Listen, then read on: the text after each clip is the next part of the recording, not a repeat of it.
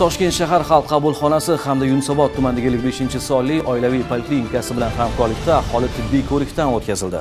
Yaqindagina qurib foydalanishga topshirilgan sevinch mahalla fuqarolar yig'ini binosida o'tkazilgan ushbu qabul kun bo'yi davom etdi. Kardiolog pediatr lor stomatolog urolog kabi yigirmaga yaqin oliy toifali shifokorlar mahalla ahliga kerakli ko'rsatmalar va tavsiyalar berishdi. Mazkur salomatlik kuni joriy yil davomida fuqarolar sog'lig'idan muntazam ravishda xabardor bo'lish maqsadida tashkil etilgan uchinchi tibbiy ko'rik tarafı